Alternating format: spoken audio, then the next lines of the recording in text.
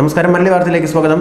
ജമ്മു കാശ്മീരിന്റെ പ്രത്യേക പദവി എടുത്തു കളഞ്ഞതിന് ശേഷം വൻതോതിലുള്ള ഭീകരവേട്ട തന്നെയാണ് ഇന്ത്യൻ സൈന്യം ജമ്മു കാശ്മീരിൽ നടത്തിക്കൊണ്ടിരിക്കുന്നത്. നാം ഇതുവരെയുള്ള കണക്കുകൾ പരിശോധിക്കുകയാണെങ്കിൽ അതായത് പ്രത്യേക പദവി എടുത്തു കളഞ്ഞതിന് ശേഷം ഇതുവരെയുള്ള ദിവസങ്ങളിലെ ഭീകരരെ കൊന്നൊടുക്കി കണക്ക് എടുത്തു നോക്കുകയാണെങ്കിൽ ഭൂരിഭാഗം ദിവസവും മൂന്നും നാലും ഭീകരരെ ഇന്ത്യൻ സൈന്യം കൊലപ്പെടുത്തുന്നുണ്ട്. ക്ലീൻ കശ്മീരിന്റെ ഭാഗമായാണ് ഇത്തരത്തിലുള്ള കർശനമായ നടപടിക്രമങ്ങൾ സ്വീകരിക്കപ്പെടുന്നത്. നിലവിൽ പാകിസ്ഥാനിൽ നിന്ന് നുഴഞ്ഞു കയറിയ ഭീകരർ വളരെ കുറവാണ്. ജമ്മു കാശ്മീരിൽ തന്നെ ഭീകരപ്രവർത്തനങ്ങൾക്കായി ഇറങ്ങിയ പല യുവാക്കളുമാണ് നിലവിൽ അതിർത്തി സൈന്യവുമായി പോരടിച്ചുകൊണ്ടിരിക്കുന്നത്. എന്തായാലും ഇന്നും ഭീകരരെ മൂന്ന് ഭീകരരെ ഇന്ത്യൻ സൈന്യം കൊന്നുതള്ളിയതായുള്ള വാർത്ത പുറത്തു വരുന്നുണ്ട്. ജമ്മു കാശ്മീരിലെ പുൽവാമ മേഖലയിൽ നടന്ന ഏറ്റുമുട്ടലിലാണ് പോലീസും സുരക്ഷാ സേനയും ചേർന്ന് മൂന്ന് ഭീകരരെ വധിച്ചത്.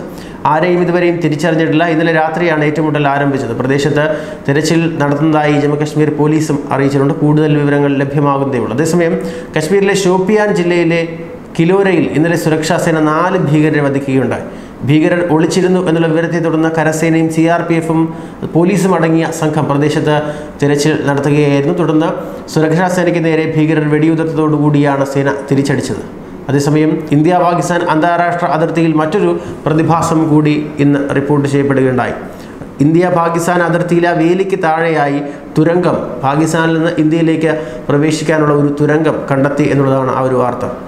ജമ്മു കാശ്മീരിലെ സാംബ സെക്ടറിൽ ഇന്ത്യ പാകിസ്ഥാൻ അന്താരാഷ്ട്ര അതിർത്തിയിലെ വേലിക്ക് താഴെയാണ് തുരങ്കം കണ്ടെത്തിയത്.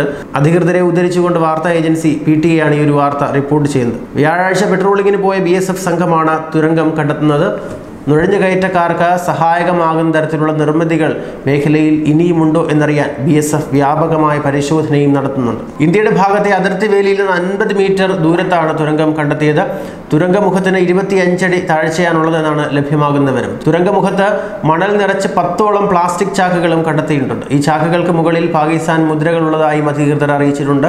കറാച്ചി ശങ്കർഗഡ് എന്നിങ്ങനെയാണ് പ്ലാസ്റ്റിക് ചാക്കിൽ എഴുതിയിരിക്കുന്നത്. ചാക്കുകളിൽ അവ നിർമ്മിച്ച തീയതിയും കാലാവധിയും അവസാനിക്കുന്ന തീയതിയും ഒക്കെ നൽകിയിട്ടുണ്ട്.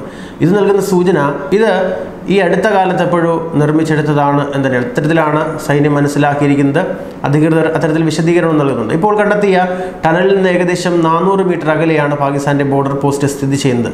പാകിസ്ഥാനിൽ നിന്ന് ആരംഭിക്കുന്ന തുരങ്കം ജമ്മുവിലെ സാംബയിലാണ് അവസാനിക്കുന്നതെന്ന് Jammu B S F I G N S ജംവാലിനെ ഉദ്ധരിച്ച എൻ ഐ എ റിപ്പോർട്ട് ചെയ്യുന്നുണ്ട്. മണൽചാക്കുകളിൽ പാകിസ്ഥാന്റെ മുദ്രകൾ ഉള്ളത് വ്യക്തമാക്കുന്നത് കൃത്യമായ ആസൂത്രണത്തോടെയും വൈദഗ്ധ്യത്തോടെയുമാണ് ഈ തുരങ്കം നിർമ്മിച്ചിട്ടുള്ളത് എന്നാണ്.